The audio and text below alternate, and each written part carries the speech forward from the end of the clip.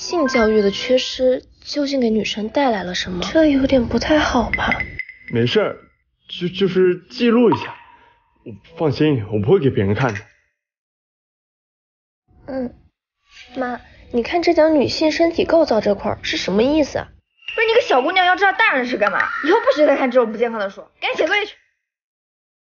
从小到大，正常的性科普被妖魔化成了羞耻的代名词。而这种行为造成的后果是灾难性的。妈，我大量的女生对最基本的生理期知识缺乏认知。妈，你干嘛？都是哥们儿，摸你一下，大惊小怪的。对两性之间的安全缺乏警惕，这有点不太好吧？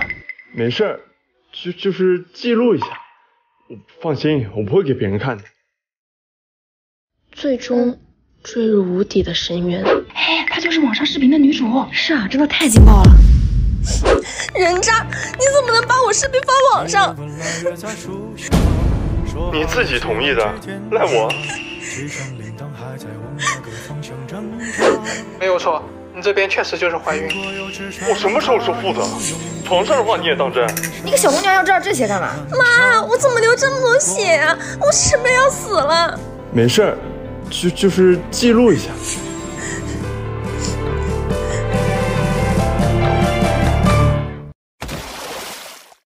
但如果性教育能够得到重视，妈，你看这讲女性身体构造这块是什么意思啊？